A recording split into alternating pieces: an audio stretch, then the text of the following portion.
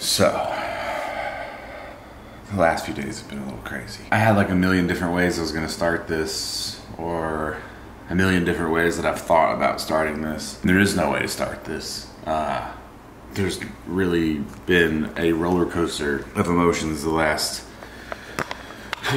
72 hours I, I, don't know so four days five days basically where we are right now in the edit our friend derek from the tattoo shop had uh, passed away which playing with omar and i got a phone call from ern telling me even when he said derek has passed away. I, Derek, Derek who? You know, like, what are you talking about? So I was completely, so I was completely in shock and didn't even register to me for a good couple of hours. Uh, course, I called Sager immediately. Me and Derek know each other through the tattoo shop. We worked together for a couple of years. We were friends, you know, we we're not super close outside of work, but definitely love Derek, man. Like, absolutely am crushed that seemingly he was in a place where he didn't realize how much joy he brought to the people around him. That is what I keep coming back to. For a while, I was really angry. A solid day, I just wanted to punch Derek in the face, you know, and um, but also hug him. It's uh, it's difficult to talk about. I don't really even want to be recording this right now. I just uh, I leave tomorrow to go to Japan, and I'm not going to be here for the ceremony. So I just stayed up instead of editing a blog, edited what footage and videos everyone from the shop sent me.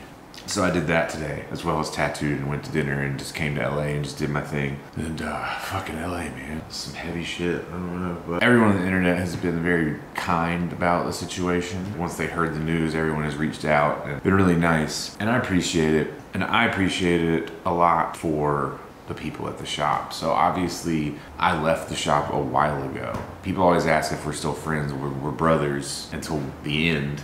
Um, so we're obviously friends. I was not as close or had as much time in as the other people at the shop. My heart is broken for multiple reasons, but it's not about me whatsoever. I'm concerned with my friends. I'm concerned with how they handle and will handle uh, the reality that Derek is gone you know, I'm all over the place and I'm not around so much. Like even just going through all these videos, so much has happened in the last three years, and then life moves so fucking quick. And this year, so much shit has just gone in ways that I didn't expect, and some of them are fucking tragic, and it's getting harder and harder.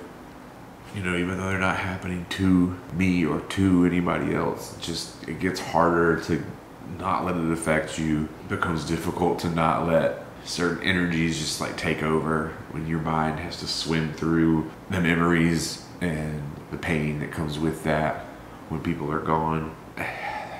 There's just certain things that are hard to accept, and I don't want to be angry. And I get so angry because I just, you know, there's so many cliches and mental health, and, um, and there's just certain shit I guess I just don't understand. And I think at the end of my thought process with it, trying to change from being angry at people, I'm angry that someone or people, especially someone that I know who I like, doesn't see their own value, I find that incredibly heartbreaking. I think that, especially Derek, but all people intersect with other people and bring immense amount of joy to their lives without ever knowing it. I think that if people knew how we celebrate their lives, I think that they would feel differently. And it is a shame that people don't get their flowers when they're alive. But at the same time, you are the flower when you're alive and we're enjoying you, you know, like we're enjoying each other, we're watching each other bloom and blossom. It's hard to pause the game and cut the script, have a side conversation when the movie's playing. I just wish that other people, and again, especially Derek, knew the impact that they have on everyone. Um, I in no way have like all of my thoughts together on this, not even close. And I feel really guilty for multiple reasons, but one because I feel like I'm having to rush through, uh, not processing it because I have plenty of time to process it. I'm forced to announce something, you know, it's all going on, it's happening. And I felt like I was having to rush through my emotions at least to get to the point where I have to talk about it. And it's now four o'clock in the morning and my flight leaves six hours, seven hours. I've put it off as long as I can. Today is better than yesterday. And like I said before, I love Derek. We were definitely friends and we were definitely close at work. But the people at the shop, and especially Matt, him and Sager have known each other forever. His family, like his real close, close family, I just, my heart is broken for them. And I think that the world lost an amazing dude, man. Like, um, yeah, but the, Jesus Christ, people. It's gonna be real hard not to tell these people to shut the fuck up. The world lost an amazing soul.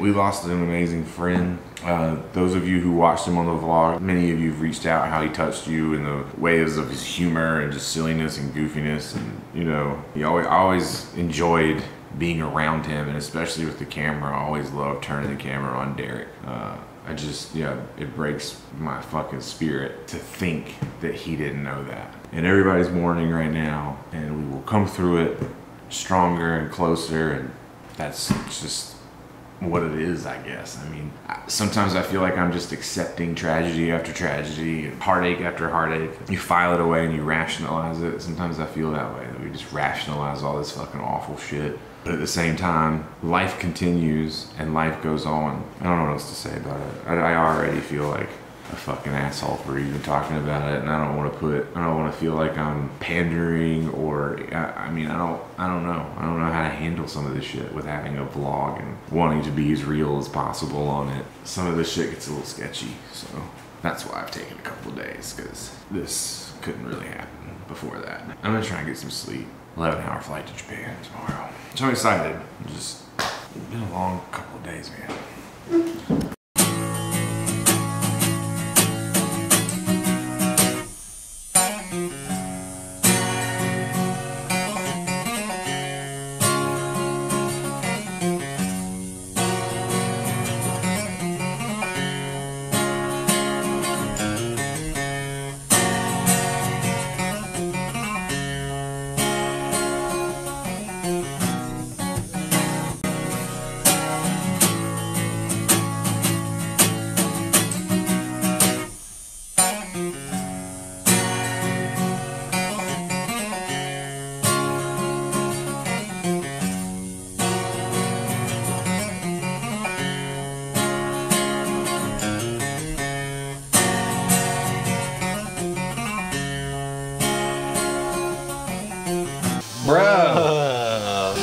What is it called?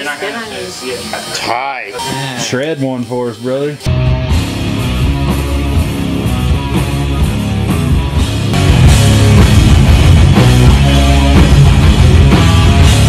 All the animals have their own spiritual lessons and insights.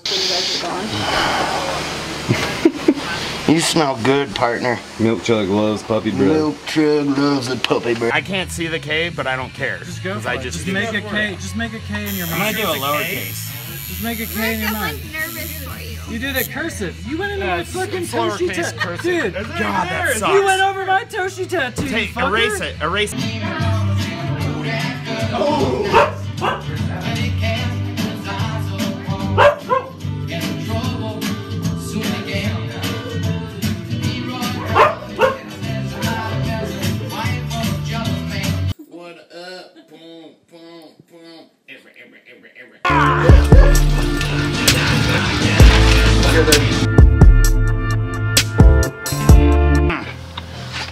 Think I could eat this whole bag?